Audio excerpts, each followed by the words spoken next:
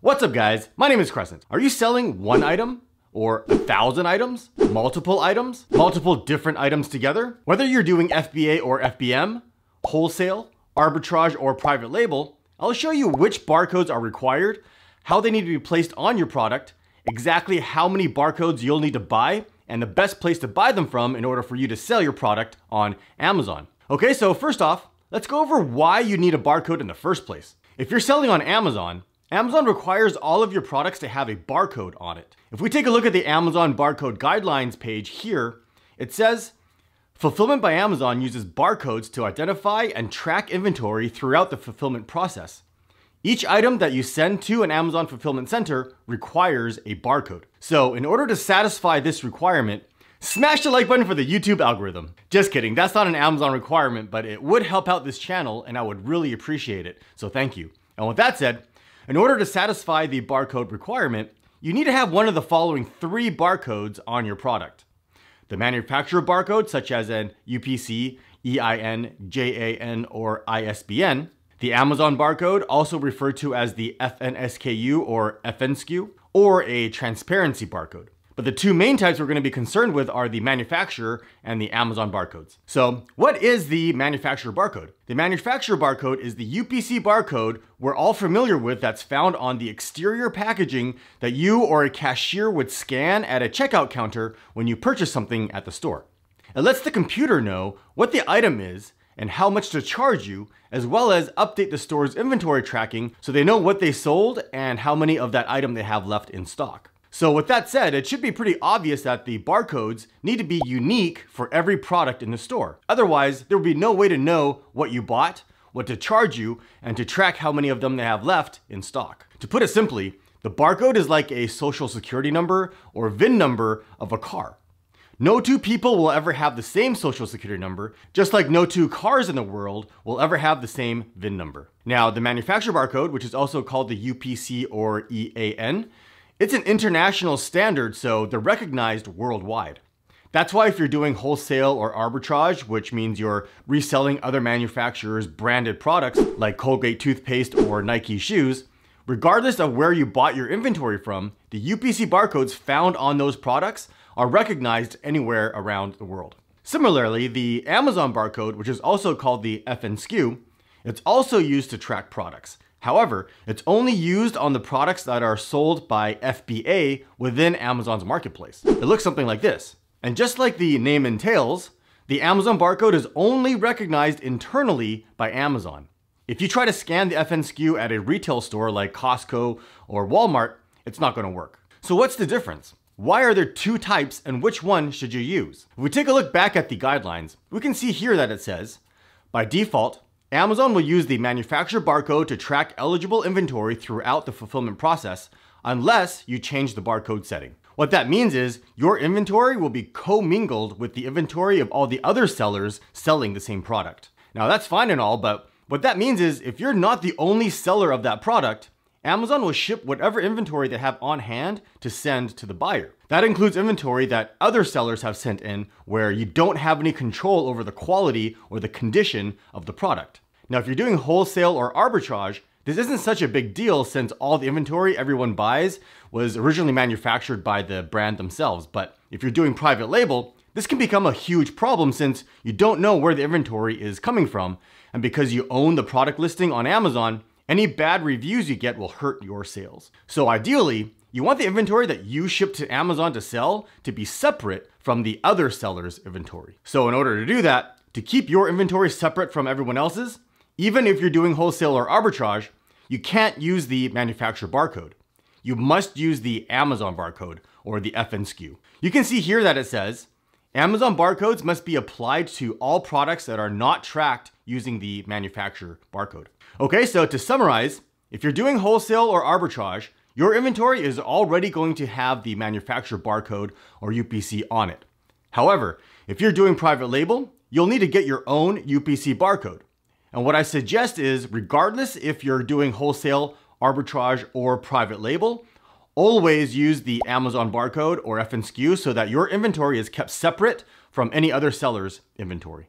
Okay, so now that we understand what the difference is between the UPC and FNSKU barcode, and why you should use the FNSKU, how does the barcode need to be put on your products? If we take a look at the packaging and labeling guidelines, we can see here that it says, any FNSKU you use on a unit must be unique and must correspond to one unique product. For example, each assortment type, such as size or color, must have a different FNSKU. This is what I mentioned earlier about the social security number and VIN numbers and that every product needing to have their own unique barcode. I'll show you a detailed example of this to walk you through it later on in the video. Now, each unit must have an exterior scannable barcode or label, which includes a scannable barcode and the corresponding human readable numbers that is easily accessible. This means that the barcode needs to be on the outermost packaging of your product, just like in the store so someone can quickly and easily find it and scan it. It can't be on the inside or covered up by anything. Remove, cover, or render unscannable any existing scannable barcodes on the outside of shipping boxes.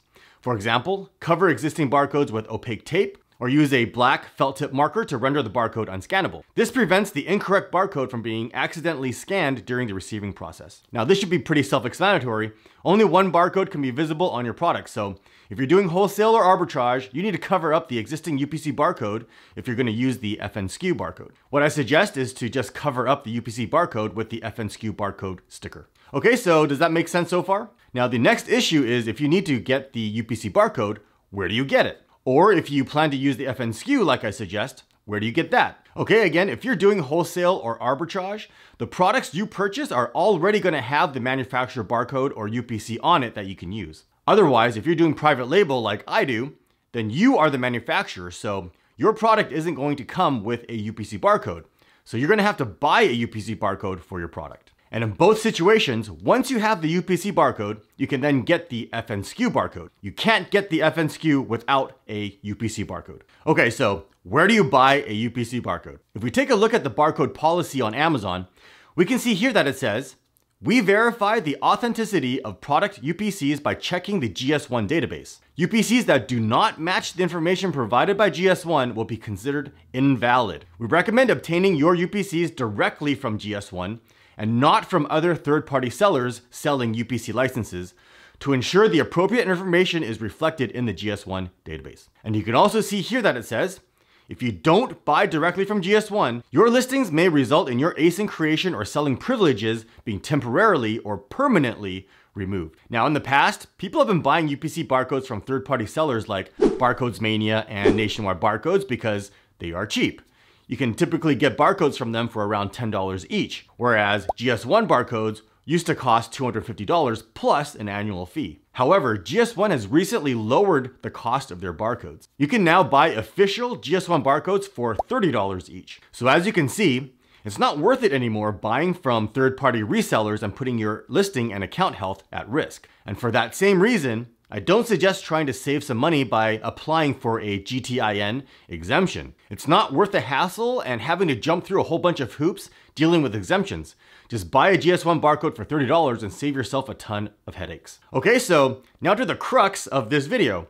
How many barcodes do you need to buy? This is actually one of the most common questions I get asked, so I'm gonna try to make this as simple as possible. Remember when I said every product needs to have its own unique barcode, like the social security number or VIN number? That's not quite accurate. Let's say you're selling this blue fidget spinner. This blue fidget spinner is considered one unit and every unit that is 100% identical to the blue fidget spinner will have the same barcode on it. So it doesn't matter if you have one unit or 10,000 units to sell, the same UPC barcode will go on every single one of these blue fidget spinner units. So with that said, you'd only need to buy one UPC barcode.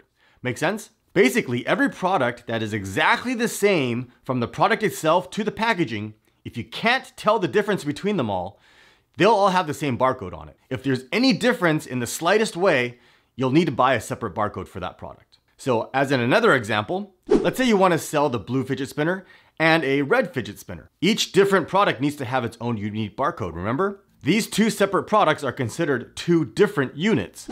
So you'll need to buy two UPC barcodes, one for the blue fidget spinners and another for the red fidget spinners. All the blue units will have the same barcode on them, and the red units will all have their own separate barcode on them. Now, what if you want to sell a package of fidget spinners? Let's say you want to sell a package of fidget spinners that's an assortment of different colors. It doesn't matter how many fidget spinners are included inside the package. The entire package of fidget spinners is considered one unit. So you'll only need to buy one barcode. That barcode will go on the outside of the box or package that all the fidget spinners come in. Okay, so hopefully that makes sense. And to help you understand, Here's a quick little test. Let's say I'm selling the blue fidget spinners, this light pillow in two different colors and two different sizes, and you wanna sell this snorkel mask bundle that comes with a GoPro case and charging cord. How many barcodes would you need to buy? You can pause this video right now if you wanna take a moment to think about it.